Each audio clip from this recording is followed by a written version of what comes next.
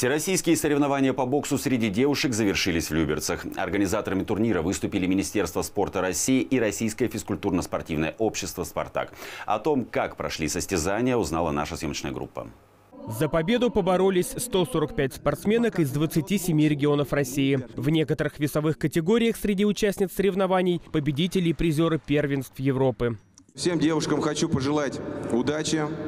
Конечно, вы все сильнейшие, но сегодня этот ринг оставит лучшую спортсменку, которая поедет на первенство России и защитит наше общество «Спартак». Последний день соревнований. Зрители на трибунах еще больше, чем на открытии. И это неудивительно. Ведь в финале каждый бой как произведение бойцовского искусства.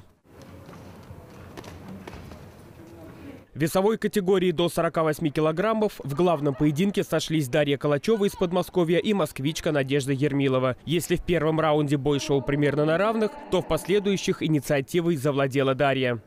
Мы добились, э, к чему шли. Еще все впереди. Дальше больше. Спасибо хочу сказать своему тренеру.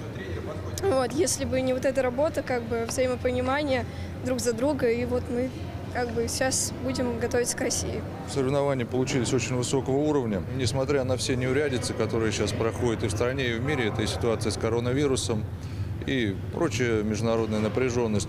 Федерация бокса России, Люберецкая федерация, э, спортивное общество «Спартак» продолжают готовить истинных патриотов страны, продолжают готовить спортивный резерв наших сборных.